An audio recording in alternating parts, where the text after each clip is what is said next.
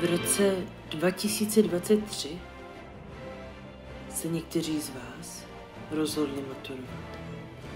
Čas není na vaší straně, ale čas je ten nejmenší problém.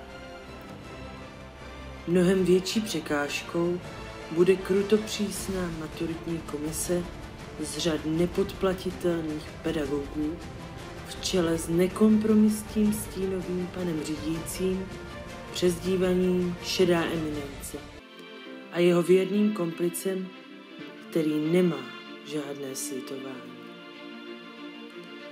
Pro tuto maturitní komisi slova milosrdenství nebo slitování jsou nyní zařazeny mezi archaizmy neboli slova dávno zaniklé.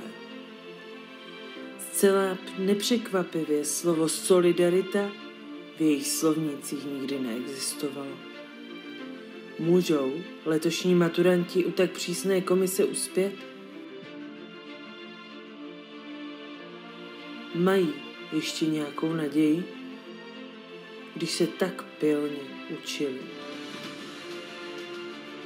Tak, milí maturanti, aby bylo jasno, na jedničku mi jedině pán Bůh, na dvojku to zvládám já, na trojku zde maturitní komise, na čtvrku možná ti nejlepší z vás. A na pětku zbytek světa.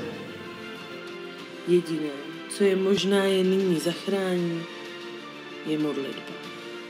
Protože nyní to Bůh ví, zda odmaturují, otázkou zůstává, zda to ví i maturitní komise. Kostky jsou vrženy. Úspěšné maturitní zkoušky 2023 a nechť vás provází štěstěná.